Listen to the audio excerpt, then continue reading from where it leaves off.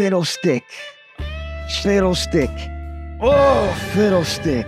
Oh, Fiddlestick. There's no one that could replace you, Fiddlestick 1.0. Oh.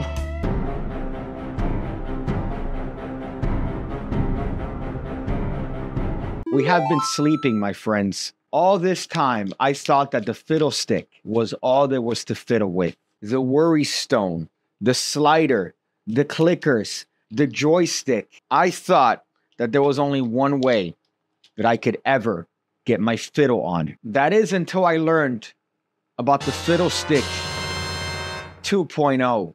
Now, you might be asking yourself, what's the difference between the fiddlestick 2.0 and its predecessor. We have a joystick, we have a slider, we have the worry stone, we have the sphere. You should be ashamed of yourself. This fiddlestick glows in the dark. Right now, I've turned off my only light source so you could appreciate the glowness of the fiddlestick. Imagine the possibilities of fiddling in the dark. You can't even see the 1.0, but the 2.0, that's where it's at.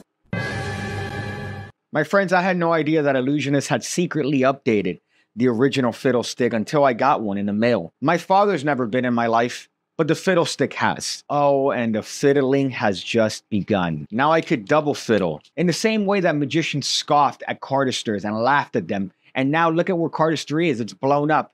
Fiddling is going to be in the same category. Years from now, professional fiddlers are going to be demonstrating their techniques with multiple fiddlesticks. Of course, I want to be considered the innovator of the fiddle, even though, yes, Adam Wilber was the one that came up with the concept, but it doesn't matter. Look at this move. Look at this move right here, huh? Or this one? How crazy is that? How crazy is that one? The double slider, alternate light switches, ambiguous worry stones, the lightsaber, double fiddle double fiddle. Buy my new book, The Art of the Squeal. It's available now. You could look at it. Linked in the description section below, full of moves, routines, tricks.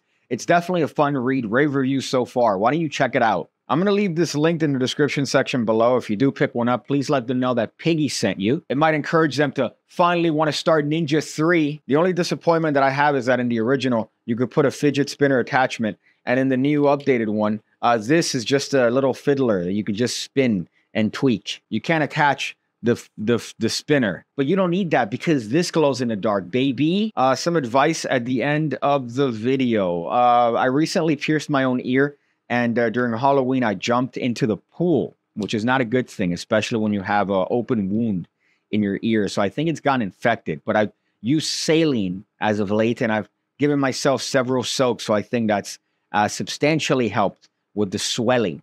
But if you notice that there's a gash in my ear at some point, then know that my medical intervention has not worked. I see you again. When I see you again. When I see you again. When I see you again. When I see you again.